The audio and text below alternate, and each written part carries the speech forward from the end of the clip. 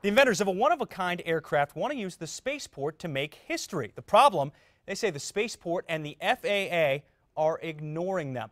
And as News 13's Emily Younger reports, New Mexico may lose out because of it.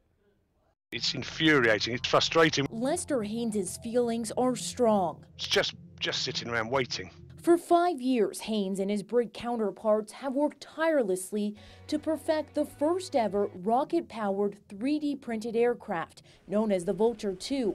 The aircraft is attached to a helium filled balloon. Once the team shoots it into the sky, they fire the rocket motor inside. The balloon bursts, And it then flies itself automatically back to the ground. What could possibly go wrong? Very simple. Not exactly.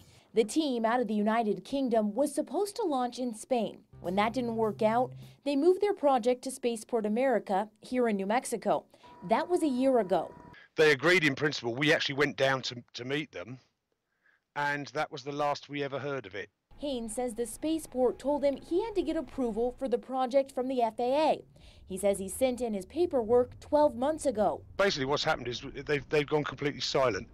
Both Spaceport America and the FAA have gone completely silent. He says his crew is called about their project status time and time again, but there's never been an answer. We tried this week for ourselves. The spaceport sent us a statement saying it can't move forward with the project until the FAA approves the Vulture 2. Hi, this is Emily Younger with Channel 13 here in Albuquerque. We called the FAA on Thursday and still haven't heard back. It's something Haines says he and his crew are fed up with. He says if they don't hear back from the FAA or spaceport soon, he'll move the project from New Mexico to Colorado. Once you start something, you think, right, well, well, obviously we've got to finish it. It's just totally unnecessary to be held up like this. Emily Younger, KRQE News 13. This is the same crew that set the Guinness World Record for highest launch of a paper plane five years ago. UNM says it'll start